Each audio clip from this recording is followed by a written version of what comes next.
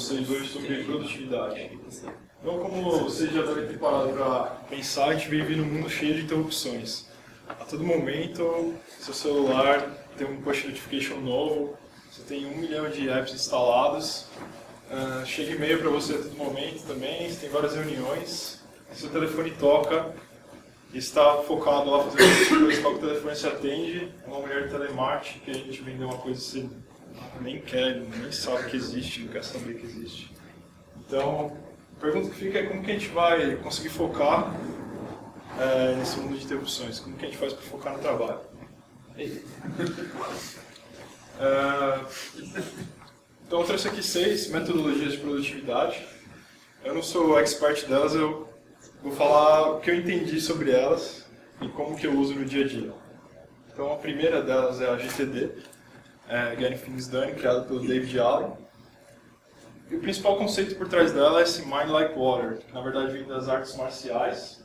É, o conceito é você estar tá preparado para lidar com qualquer tipo de surpresa ou coisas inesperadas que aconteçam, que cheguem a você. Então imagina a água, você joga uma pedra na água, é, a água vai dar uma ondulada ali e logo ela volta ao normal. Tipo, ela não cria um furacão ali e tal. Então ela é bem. Consegue voltar ao estado normal facilmente. E aí tem um vídeo famoso do Bruce Lee que ele fala sobre esse conceito de você limpar a sua mente, você ser flexível, se encaixar em qualquer lugar. Aí os haters vão falar que, ah, uma viagem, esse negócio e tal. Aí eu trouxe um vídeo do Bruce Lee para mostrar que ele é o cara. Os haters vão falar que é montagem também, provavelmente. Mas ele jogando ping-pong. Que eu acho que vai ficar meio delayed porque transmissão aqui. Depois você twitta o link do vídeo. Ah, tá mas ele tá jogando com o Chaco ali. Uma coisa bem tranquila. E aí, no meio do vídeo, um carinha só não tá conseguindo ganhar dele, chamam dois, mesmo assim não, não consegue. Mas como a gente está numa parte de produtividade, o videozinho no YouTube não rola, vamos voltar para o foco aqui. Então, David Allen define a sua capacidade de produção sendo diretamente proporcional à sua capacidade de é, se concentrar. Para você conseguir se concentrar, você precisa eliminar distrações. É, e a distração, no, na definição do David Allen, na maioria das vezes, são compromissos mal gerenciados que você assumiu ingenuamente Tipo, para pra pensar agora quantos compromissos você tem assumidos. Ele fala que a maioria das pessoas nem sabem quantos são, então a gente não tem um controle sobre isso e acaba gerando um estresse. É, nossa mente ela é péssima para gerenciar compromissos. Tipo, ela vai te lembrar você precisa fazer alguma coisa na sua casa quando você estiver escalando no pico do Everest ou whatever. Então. Ups.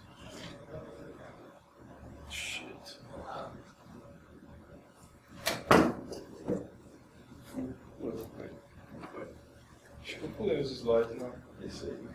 Então não consegue gerenciar compromisso e a coisa que você precisa fazer, a quantidade de coisas que você precisa fazer é muito maior do que a quantidade de coisas que você está é, realizando, que você está gerindando. Então a gente precisa saber lidar com essa é, proporção inversa de coisas.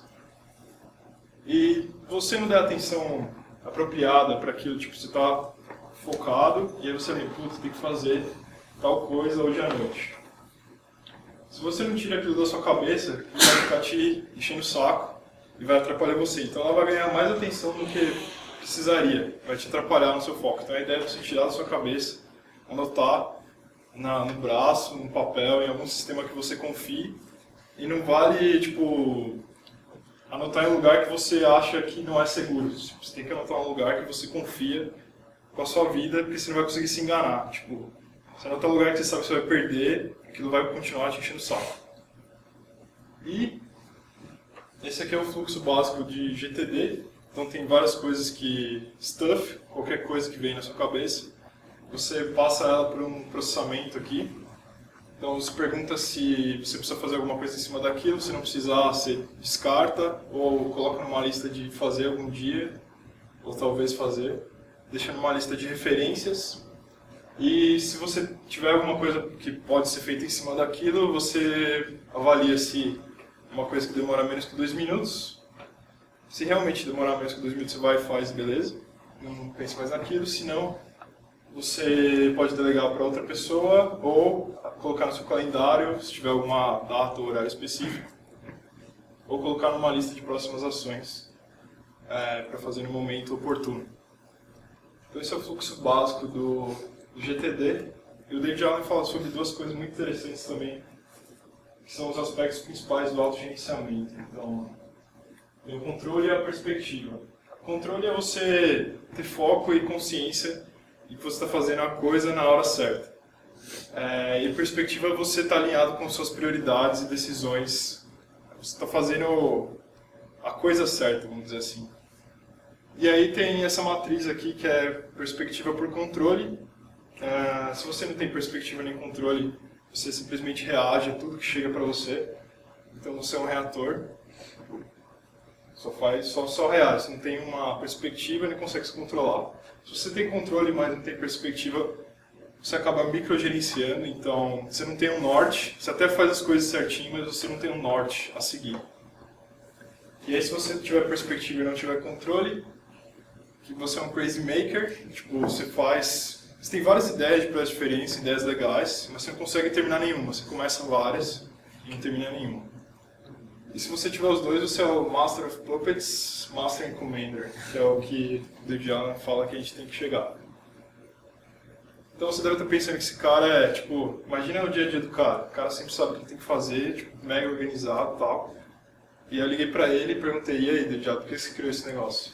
Ele falou, não, considero uma pessoa muito é, preguiçosa e precisava de um sistema para ter menos estresse no, no, dia a dia. Falei, ah, então beleza. Então, não necessariamente você precisa ser organizado, tipo, isso te ajuda a se controlar melhor. Esse foi o GTD. Segunda metodologia Pomodoro. Quem conhece Pomodoro aqui? Aí, putz. Todo mundo. Então é uma, uma técnica muito difundida na comunidade de software. É, foi criada por esse cara aqui, que é o Francesco Cirillo. Falei certo, Rafa?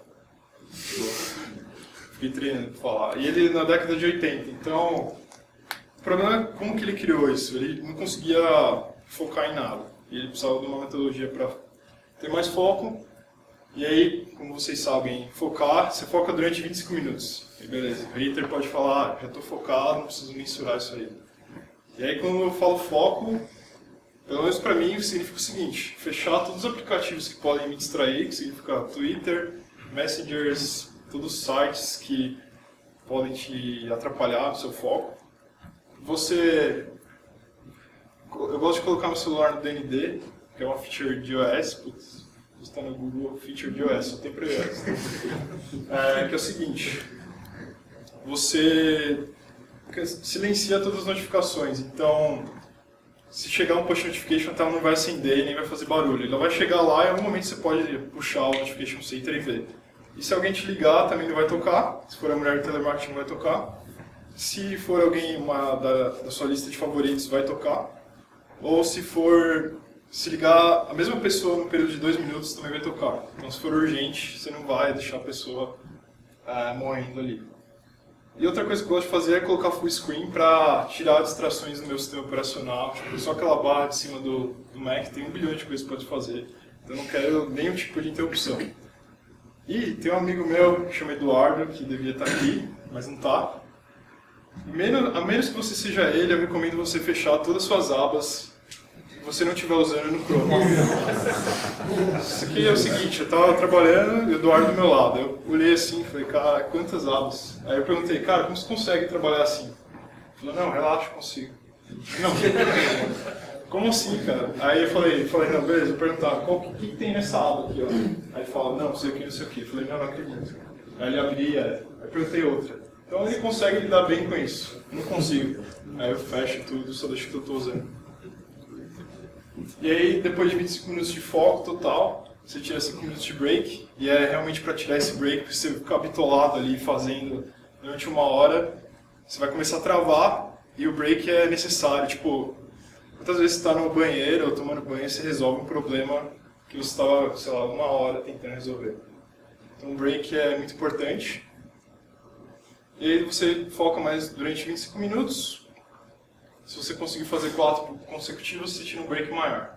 E tira o break mesmo. Tipo, não é que você está parando de trabalhar, que você está folgado. Tipo, provavelmente você vai produzir muito mais durante essas duas horas, esses quatro pomodoros, do que se você tivesse, sei lá, quatro horas no seu fluxo normal de ter um monte de interrupção ao mesmo tempo. Então, uma dica que eu dou é usar Pomodoro com pair programming, e aí a cada Pomodoro você inverte que é o piloto e o copiloto. É interessante para não deixar uma pessoa pilotando por muito tempo. Uh, os aplicativos que eu recomendo tem esse tempo para o SX, ele é legal. Ele é bem simples, na verdade, mas o que eu acho legal dele em relação aos outros é que ele, na hora que ele vai começar o break, ele não fala, ah, acabou o Pomodoro, dá o play no break. Ele já começa o break já começa o próximo Pomodoro. Porque, tipo, se ele falar, dá o play no break, você vai ficar esperando, ah, beleza, espera mais um pouquinho, daqui a pouco eu dou play. E aí tem um outro também que é o Concentrate, ele é um timer também, só que o legal dele é que você consegue configurar é, algumas opções. Então você fala, fecha todos esses aplicativos para mim quando eu der o play no Pomodoro. Pode abrir de novo quando eu acabar tiver no break. Bloquear também os. Então se tentar abrir lá o Twitter não vai deixar. Certo status no Skype para DND. Uh, e também eu gosto de deixar uma mensagem a cada 5 minutos para falar keep focus, para não lembrar que estou no Pomodoro, normalmente a gente esquece. E aí você tenta xingar no Twitter, você não consegue, bloqueia para você. Uh... Tá, a próxima metodologia é Don't Break the Chain. Foi criada por esse cara aqui, que eu coloquei o nome. Jerry Seinfeld. É um comediante muito famoso, como vocês sabem.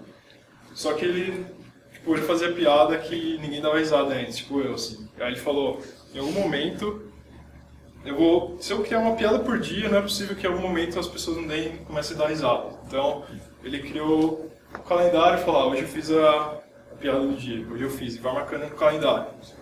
E aí você vai criando uma corrente, tipo, vai te motivando a criar no próximo dia e manter esse hábito.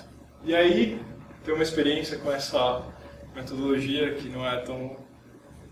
Eu comecei a correr e eu marcava todo dia aqui. Aí vocês estão vendo aqui o que, que, que aconteceu, né? Tipo, consegui fazer durante 30 dias. E aí, no domingo, tava fazendo final de semana tudo. Chegou no domingo, eu tinha um compromisso de manhã, que eu corri de manhã, eu tive que correr de noite. Tipo, 11 horas da noite pra academia destruir lá. Aí na segunda eu corri de novo. E meu joelho zoou, tive que parar 10 dias, quebrei a corrente. Então quando você quebra a corrente, fudeu, você se desmotiva absurdamente. E aí, depois de 15 dias, eu falei, vou voltar. Aí começou a chover, aí eu falei, ah, esse negócio de correr não é pra mim, eu vou usar pra outra coisa, do break the team. Então, eu tô gordo, atualmente, é isso. A próxima metodologia é o Most Important Task.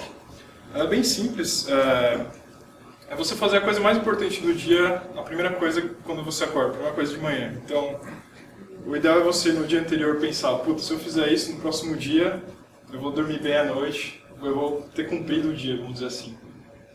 E aí, o que rola é que não necessariamente você precisa fazer de manhã. Você pode fazer, não, é recomendado fazer no horário que você é mais produtivo. Tipo, eu sou de manhã, tem pessoas que são depois do almoço, que eu não conheço ninguém que é produtivo depois do almoço. E tem pessoas que. Você? Tem pessoas que são de madrugada, que são mais produtivas. Então faz no horário que você é mais produtivo. Uh, tem outra a metodologia que chama Bullet Journal. Alguém já ouviu falar disso? Legal. É, é uma to-do list, só que em vez de você usar um aplicativo, você anota no papel, no caderno ali. E aí você deve estar falando, tipo, isso é coisa muito old school pra mim, né? Tem que usar o Moleskine? Tem, tem que ser Moleskine. Senão não vai. ah, então, assim, como a metodologia é, você começa o mês, você anota tudo que você quer fazer no mês e cada dia você anota tudo que você quer fazer no dia. E a forma que eu uso isso, tipo, eu não anoto tudo aqui, eu anoto só o que eu realmente quero fazer naquele mês e o que eu realmente quero fazer naquele dia. Então eu estou anotando lá, eu quero fazer isso e, tipo, dou o meu melhor para realmente cumprir aquelas tarefas naquele dia. E aí eu, isso já não é da metodologia, a coisa que eu faço é most important task, que é sempre o primeiro cara com uma seta ali, é a tarefa mais importante do dia, importante do dia. E dá para você usar Don't Break the Chain também na, na folha de calendário ali, tipo, ir marcando você fez aquilo naquele dia. Então esse é o Bullet Journal. Próxima metodologia chama TDD. Aí vocês devem estar pensando que isso aí está errado, que não é metodologia de produtividade. Mas eu vou explicar como acaba sendo para mim. Então, o fluxo do TDD todo mundo conhece, esse aqui. Aí o que acontece comigo é que, imagina que você está criando alguma coisa nova, tá? Aí você vai criar, cria o primeiro teste, que normalmente eu crio o teste do cenário mais feliz do mundo, cenário em que tudo está tá ocorrendo bem. E aí eu faço o teste passar, beleza. Aí eu crio o cenário o cenário mais triste do mundo, faço passar. Crio um cenário intermediário, faço uma triangulação e na hora que eu rodo os testes, faço os refactorings, eu sei que acabou. Tipo, o meu conceito de dano é muito claro. Os testes passaram, eu acabei a tarefa. Se eu não estivesse fazendo o teste, tipo, tinha que estar tá pensando, ah, será que eu cobri tal cenário? Será que eu não cobri? Não sei o quê. Então, isso me ajuda a ser mais produtivo e gera um feedback loop, que é muito interessante. Tipo, ele fala, passou ou não passou. E aí tem uma, esse livro aqui, do Uncle Bob. Todas as palestras têm que falar do Uncle Bob. O George me ensinou que eu tenho que ter referências e não ídolos. Então, o Bob é uma referência para mim. então, tem esse livro aqui sobre profissionalismo de software dele.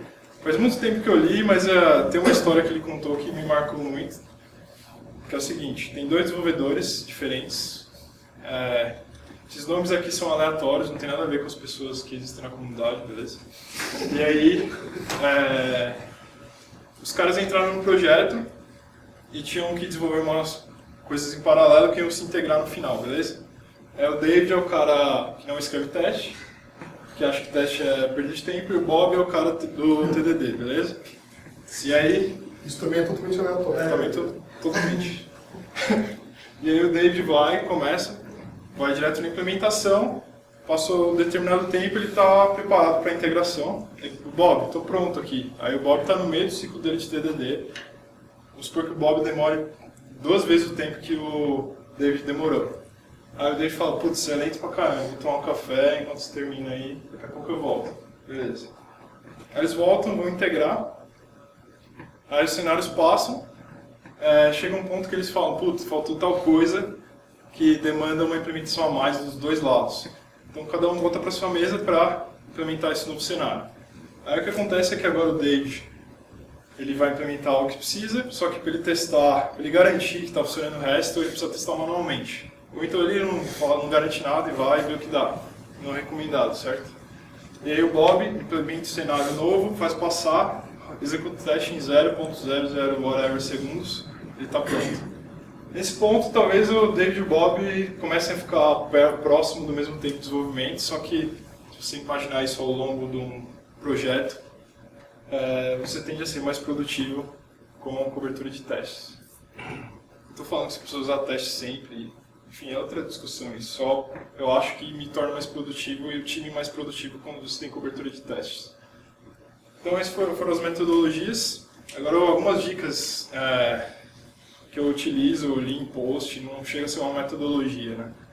Então, sabe aquele último dia do sprint que você tem uma entrega Tipo, você tem que entregar aquilo, senão vai acabar o mundo.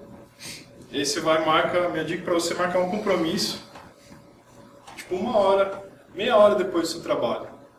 Porque aí você vai chegar no dia desse, desse último dia do sprint, vai estar com o mindset, tipo, eu preciso fazer caber esse trabalho nesse período aqui. Se você entrar com o mindset, tipo, ó, só saio daqui quando acabar esse negócio, vai sair duas horas da manhã. Então, faz isso. Muitas vezes funcionou para mim, tem vezes que não funciona, aí fudeu, você vai desmarcar o compromisso, ou você vai fazer o sprint falhar, coisa, acontece, mas o interessante, mesmo que você não tenha compromisso marcado, ter o mindset de não ficar até longas horas, tipo, fazer acontecer num período pré-determinado. Outra dica é escutar música durante os pomodoros. Então, no Spotify tem essas playlists criados especialmente para isso, então normalmente são músicas sem voz, são instrumentais, é, e funciona o negócio. Tipo, tem do mais gêneros, gêneros derivados possíveis. E aí eu estou criando uma lista colaborativa também, você codar como se não houvesse amanhã. só tem, eu criei faz dois dias, então só tem duas músicas, se vocês quiserem adicionar, beleza. Eu coloquei até um efeito aqui para parecer que tinha mais, mas só E aí, Outra dica que eu dou é você escolher um editor de texto só e dominar ele absurdamente, para você realmente ser produtivo, não querer dominar dois, que não faz sentido. é, e parar, tipo, Flame War, ah, esse é melhor que esse, tipo, o melhor é o que te faz você ser mais produtivo, beleza? Ih, caralho. tá. Alguém tá falando aí. Tem alguém falando? Beleza. Outra dica é você ter um pote borracha na mesa. Beleza? Alguém já ouviu falar de pote de borracha? Então, nasceu, eu fui procurar onde não tinha nascido, não sabia. Então, foi criado pelo cara do Stack Overflow, que a galera começou a postar coisa lá. Tipo, que se você desse um Google, a resposta era a primeira e nem sabia a página, tipo, já tá lá a resposta. Ele falou, começa a ter um de borracha na mesa. E o lance é o seguinte, imagina que você está com uma dúvida, e na hora que você tem a dúvida, você já interrompe seu colega do lado, que está com fone de ouvido, pomodoro, codando, fitando, assim. Você, e aí? Você interrompe ele, para e tal. O cara vai estar feliz em interromper ele. Na hora que você começa a fazer a pergunta, no meio da pergunta você se toca, ah, puta, é isso. Então, o cara nem precisou falar nada, você acabou de usar o cara com um potinho de borracha. Então, ao invés de fazer isso com um potinho de borracha, fala com um potinho de borracha, beleza? E aí, tem pessoas que não gostam de potinho de borracha, você pode ter um boneco do Walter White, ou fazer igual seu Rafael Rinaldi, que é esse cara aqui, ele tem uma carranca ali e troca ideia com direto. Então, é normal isso. Ah, outra dica é você ter sempre um papel ah, em branco na sua mesa, então você está codando, você está seguindo um fluxo racional ali, só que tem momentos que você precisa de criatividade, diria boa parte dos momentos. Você pode fazer a mesma tarefa de formas muito diferentes, então o que eu gosto é sair um pouco do racional e ter um lado mais criativo, então desenhar possíveis alternativas de arquitetura, de troca de mensagens. E aí tem estudos que falam que na hora que você faz um sketch que é totalmente free assim, sua criatividade tende a aumentar nesse momento. Ah, tem que ser Moleskine também, viu? Outra dica é o mind map. Ah, então, assim, quando você está criando alguma coisa que você não consegue subir na sua memória mental, tipo, é difícil de você acompanhar. Normalmente, sei lá, alguém está explicando alguma coisa para você, você tem que ir construindo pedaços da sua cabeça, ah tá, aqui assim, aqui assim. Então você cria um mind map e fica fácil de se comunicar com o time e você mesmo entender que está rolando. Tipo, eu criei esse mind map para essa palestra, para ter uma ideia do que eu queria passar para vocês. A próxima dica é, ao acordar, tem gente que olha o e-mail, a primeira coisa que faz de manhã, tem alguém que isso que eu... Bastante gente. Então, também fazia isso. Aí tem uma mulher que escreveu um livro que eu não li, mas o conceito dela é o seguinte. Ela fala que você fazer isso coisa que você acordar falar, puta, vou levar o lixo pra fora de casa. Você pega o lixo, vai leva. Então, na hora que você acorda, sua mente está vazia e você, tipo, não tem nada. Você pode ser a pessoa mais criativa do mundo. Você começa a entulhar de informação vindo, tipo, tudo quanto é lado. E isso não é legal, entendeu? Então, ao invés de eu é, abrir seu e-mail, faz qualquer coisa menos abrir seu e-mail. Então, vou falar para vocês o que eu faço. Eu faço café e aí eu estou estudando novos métodos de extração, de café. Atualmente eu estou nesse que chama French Press, alguém conhece? Cara, boa. Então, comprei uma maquininha lá que moe o café na hora. Tipo, café moído na hora é absurdamente melhor do que café que você já tá lá faz tempo moído, pelo menos do meu gosto. Então, aí você tem que ir lá metodologicamente, metodicamente esquentar a água, mensurar quanto que você quer de café, quanto você quer de água. E aí você coloca, espera exatamente 4 minutos e aí tira o café. E aí tipo, você vai acordando é, devagar, o café vai te ajudar a acordar também, tipo, eu não consigo começar o dia sem tomar café. E essa é a dica que eu dou pra vocês, toma cuidado pra não tomar muito café, tipo, faz uma vez, três, cinco. Quantos cafés tomam por dia aqui? Alguém? Dois?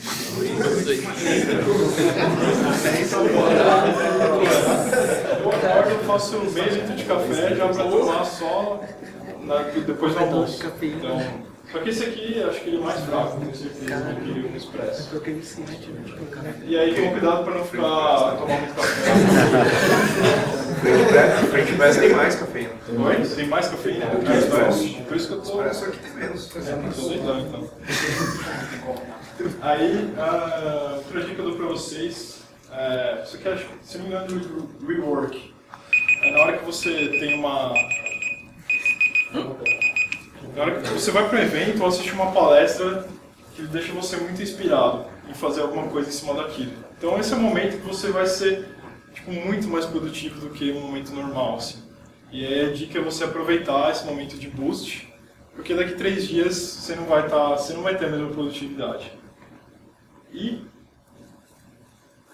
essas aqui foram ideias e metodologias que eu uso no meu dia a dia, então eu testei o funcional para mim não funcional. A ideia é você testar o que para você, criar é seu próprio workflow, não seguir exatamente pelo livro. Uh, queria deixar para vocês uma frase do Peter Drucker, que é o cara da administração, tipo, o cara da administração. É, a diferença entre eficiência e eficácia. Então, eficiência é você fazer a uma coisa da maneira certa, chega uma tarefa para você e você implementa do melhor jeito possível, dado um determinado contexto.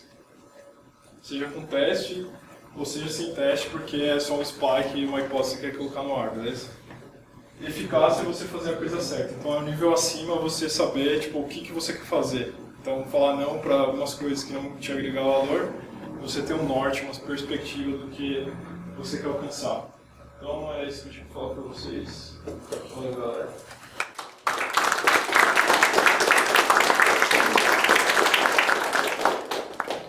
Alguém tem alguma dúvida aí?